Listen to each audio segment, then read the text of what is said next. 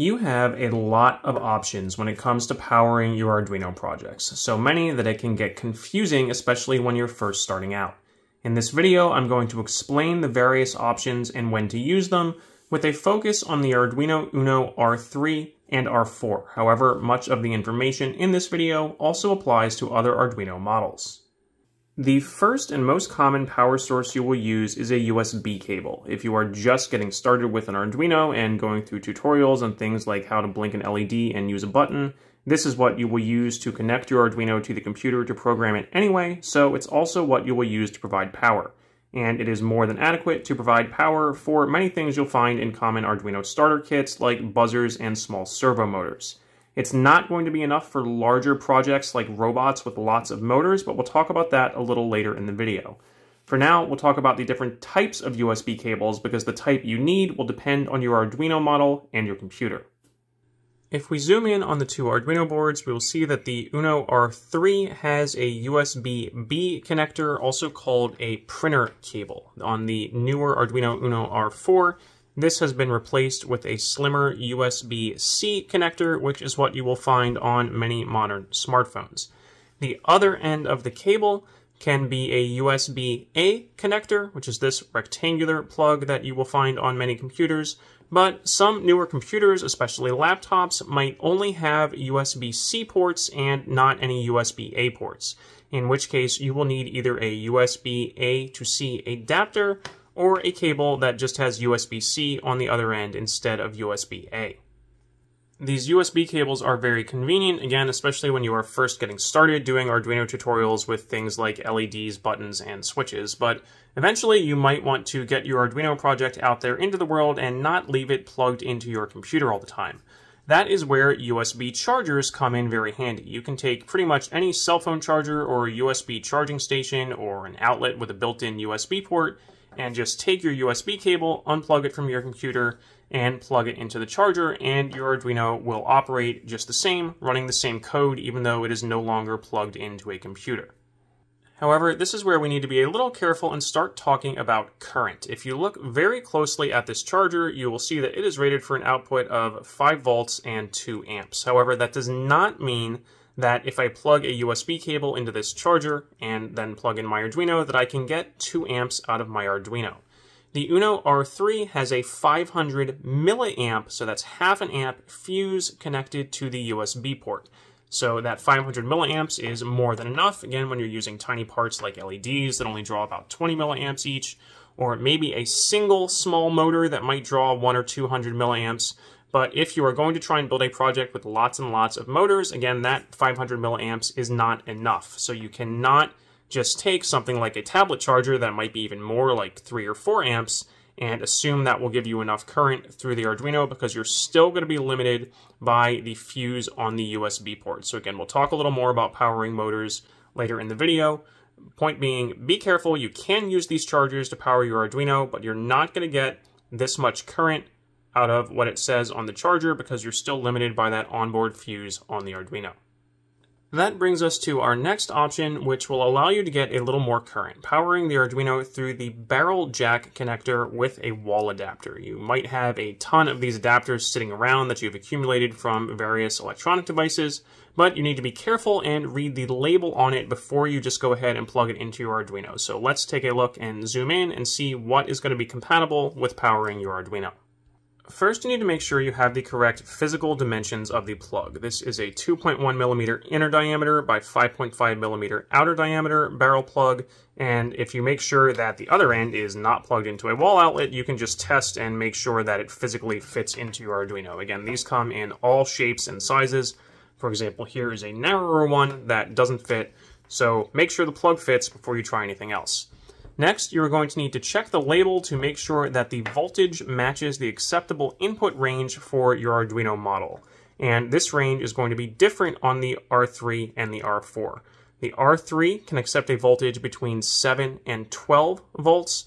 On the R4, this has been expanded to 6 to 24 volts. So you have a wider range of power adapters that are going to work with the R4, whereas you risk damaging the R3 with those higher voltages. To figure out the voltage of your adapter, you need to look at the label and look for the output. So I have two different adapters here. We can see this one on the left has an output of 9 volts with up to 650 milliamps, and this one on the right has an output of 12 volts with an output of up to half an amp or 500 milliamps. So both of these would be in the range to work with either of these Arduino models. The other thing you need to be careful about and check is that it is a center positive plug. So this little symbol here, if I can try and get the camera to focus, shows that the plus sign or positive symbol is connected to the center of the plug and the minus sign or negative symbol is the outside of the plug. So if you look closely at the plug, there's going to be a metal connector on the inside, that's the positive, and then this jacket around the outside is the negative. So you want to make sure you have a center positive plug and not a center negative plug. And again, you should see that symbol on the label if you look closely. So make sure you have a center positive plug with the correct size that physically fits into your Arduino and that the voltage is in the acceptable range for your model. Again, 7 to 12 volts for the R3, 6 to 24 volts for the R4, and you should be good to go. One advantage here is that these wires are typically longer and more flexible than a USB cable, so depending on where you want to mount your Arduino project, that might give you a few more options. And these adapters can also give you more current than the USB port depending on their rating. So the voltage from the barrel jack goes through something called a voltage regulator on the Arduino, and that is what's going to convert that higher voltage, for example in the 7 to 12 or 6 to 24 volt range, down to the regulated 5 volts that the Arduino's I.O. pins operate at. And that onboard voltage regulator has a current limit of 1 amp. So unlike the 500 milliamp fuse on the USB port, in theory, you could get up to 1 amp out of the 5 volt pin on the Arduino if you are powering it through the barrel jack instead of USB. However, you are not guaranteed to get an amp because it depends on the rating of your wall adapter. For example, remember when we looked at this one, this one is only rated to a maximum current of half an amp. So just because I am powering it through the barrel jack doesn't mean I would get a full amp in this case. I am limited by the current that can be supplied by the power supply, in this case 500 milliamps. What if you want to have a mobile project, for example, something that moves around and does not need to be tethered to a wall outlet? That is where we're going to start talking about batteries and the snap connector. So here we have a 9 volt battery, and remember 9 volts is going to be within the range accepted by the voltage regulator for either the R3 or the R4. There's a snap connector on one end that snaps onto the battery, and then a barrel plug on the other end, which again is center positive and matches the dimensions for the Arduino barrel jack. So you can just plug that in just like you would with the wall adapter, and now you have a mobile Arduino project that does not need to be plugged into a wall outlet. But again, if you are doing something with lots of motors, like a robot that drives around, this 9 volt battery is going to drain very, very fast. So this would be okay for some longer battery life for something like an LED that's just blinking intermittently or things that aren't on all the time. But if you're trying to do something with a lot of motors that drives around a lot, those motors are going to draw a lot of current, and even though this battery can provide enough voltage, the battery is going to die very quickly. So next, we are finally going to get to talking about external battery packs for powering motors with your projects.